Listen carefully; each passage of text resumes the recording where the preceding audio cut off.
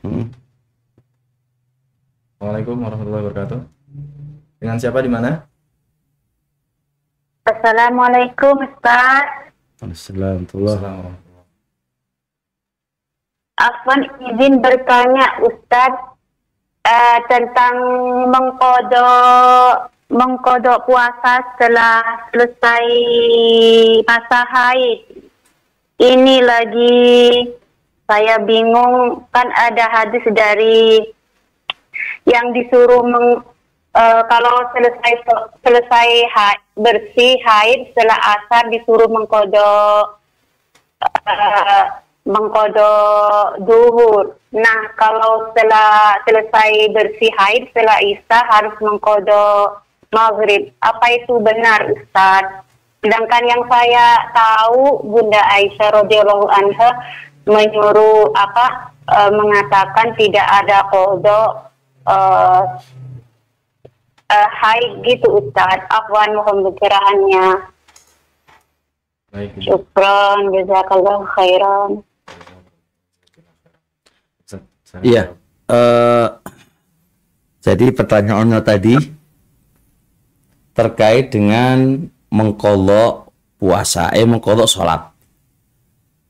Eh, jadi sebenarnya tidak ada pertentangan antara hadis Aisyah dengan perintah mengkolok. Jadi gini, memang sholat itu kan ketika Jat Haruria telah datang seorang wanita Haruria kemudian dia nanya matakvi eh, mabalu mabalul haid kenapa sih orang haid itu eh, takdi soma wala takdi solata kenapa sih orang haid itu kok diperintah mengkodok puasa dan tidak diperintah mengkodok sholat? Kan itu kan. Kata Aisyah aharuriyatun anti. Apakah anti itu dari negeri Haruriyah tempatnya orang orang Khawarij?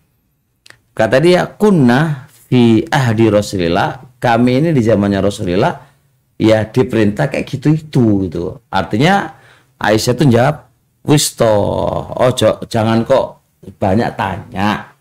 Keadaan kami di zaman Nabi itu begitu perintahnya. Kalau sholat nggak ada kolok kalau puasa disuruh kok kolok nah kasusnya pertanyaan tadi itu memang ada khilaf antara madhabnya jumhur sama madhab dohiriyah dalam kasus begini.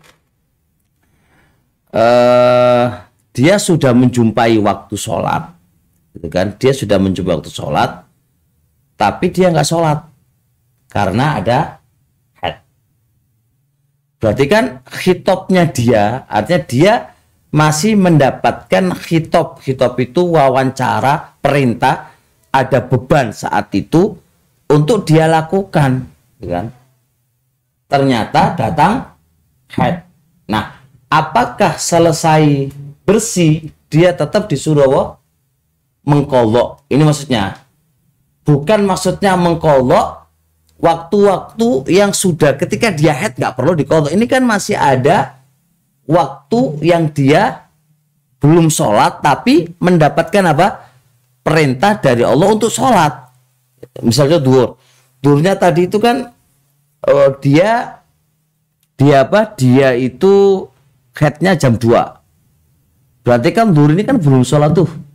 Nah adapun sholat asar maghrib sampai seterusnya nggak perlu nggak nggak usah disuruh kodok karena dia di awal dia sudah head.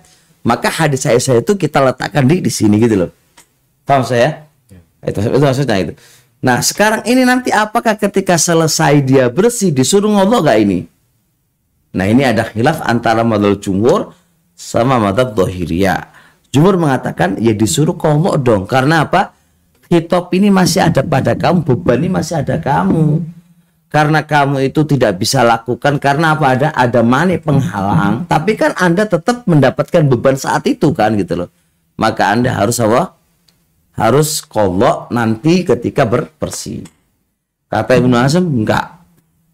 Doiriyah enggak kenapa enggak? Karena sholat itu kan muasa waktunya kan luas. Yang penting dia ada rencana tekad untuk melaksanakan sholat.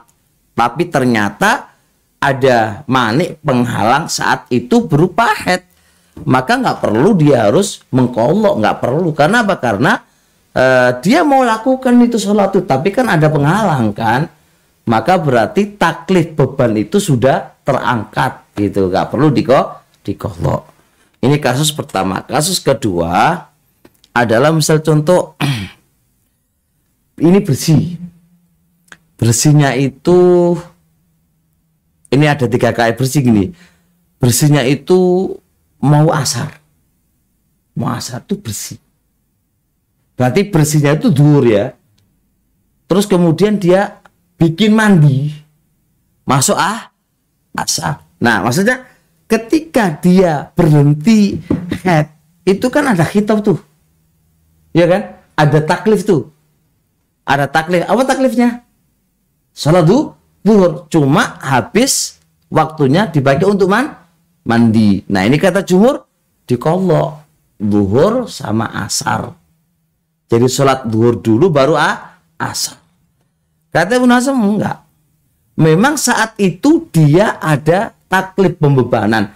Tapi pembebanan itu udah habis dikarenakan ketidakmampuan dia karena syaratnya sholat harus mandi dulu dulu. Berarti dia lepas dari pembebanan. Makanya tidak ada apa? Tidak ada uh, kasus ketiga begini. Ini masuknya adalah waktu asar. Bersihnya waktu asar. Nah zuhur kan sudah habis zuhur kan habis kan? Masuk asar. Apakah dia ketika bersih itu harus mengkodok zuhur sama asar? Loh apa alasannya? Kan masih ada hitop dia. Hitopnya adalah disamakan dengan posisi menjamak kenapa menjamak karena ada udur kan? Safar gitu kan. Ya enggak berarti ketika uh, boleh menjamak antara duhur dengan asar karena hit, ke, ke, ke, kenapa kok boleh? Karena ada udur. Nah berarti duhur masih tetap dia terbebani kan? Walaupun dilakukan ketika asar. Itu matanya jumur Beria gak? Kenapa gak? Ya beda dengan safar lah memang wasono dalili gitu kan. Tapi kalau Beria nggak bisa. Nggak bisa kenapa? Ya saat anda duhur tuh udah lepas. Berarti nggak perlu lagi di di dibebani lagi kan udah lepas yang yang dibebani adalah saat itu yaitu ketika asar gitu loh jadi uh, poin kan Mas pahami maksudnya ya. Ini ini ini ini gambarannya madhabnya jumur sama dohiriyah. Nah kalau saya ditanya, ya kalau kalau ditanya saya condong pendapatnya dohiriyah. Karena apa-apapun kita beribadah kepada Allah, ya itu butuh dalil gitu-gitu kan. Kalau sesuatu ibadah itu sudah lepas dari kita, ya sudah selesai urusannya gitu kan. Ngapain kita kok dibebani lagi gitu kan. Pembe pembebanan yang baru itu kan membutuhkan dalil gitu kan. Kayak kasus tadi kan eh ya saya kan pengen sholat. Ini kasus pertama lo ya. Jam 2 waduh kok head nah ya sudah mau diapain lagi? Berarti duur saya sudah gu gugur karena ada head kenapa gugur? Ya karena ada penghalang. Anak kan mau sholat Terus ada penghalang. Nah, ketika anak selesai haid, kok disuruh mengkodok yang sudah lewat tadi, ini kan butuh dalil dong gitu kan. Kalau hanya cukup dengan nggak nggak cukup banyak dengan lo nggak cukup dengan hanya lo kamu pas pas apa? Pas headnya belum datang kan punya utang gitu kan kejualan kamu kan punya utang ya harus kamu bayar lah kan gitu ya ya kan kita jawab, lu waktunya sholat lu panjang. Anak lu pengen melakukannya karena ada wo, ada penghalang, ada manik, ya berarti lepas lah ada manik, ada penghalang kok gitu kan. Ya berarti kan ya sudah selesai urusannya. Kalau anak disuruh disuruh apa? Disuruh uh, komo ya kan butuh dalil ya. Kalau kita kasus kedua misal contoh, ya oke okay lah uh, waktu duhur saya dapat hitop, tapi kan setelah saya mandi udah habis, ya sudah selesai kan. Berarti kan la, la wajib mal aja nggak ada kewajiban kalau nggak mampu lah. Ya kalau nggak usaha. Ya berarti duri lepas lah. Wong sudah wong sudah lepas kok. Wong sudah saya nggak dapat. Artinya selalu pengen sholat kalau anda kata dapatkan. Ini lo nggak ada waktunya. Berarti kan waktunya habis berarti sudah selesai urusan urusannya. Begitu pula kalau anda kata eh, bersih saya itu di waktu asar. Gimana guru? Ya sudah selesai. Karena kalau kita disuruh menjamak menggabungkan mengkodok ini perintah mengkodok itu mana gitu kan?